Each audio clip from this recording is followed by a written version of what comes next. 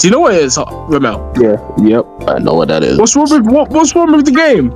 Nah, bro. I, I think I don't even know why. It's just I just I just don't like it to be honest. It's like a little life simulator. Yeah, I know. I just don't like it. It's boring. Wow. Bro done. heard, bro heard one sound and said, "No, that's you crying, Ahmed, bro.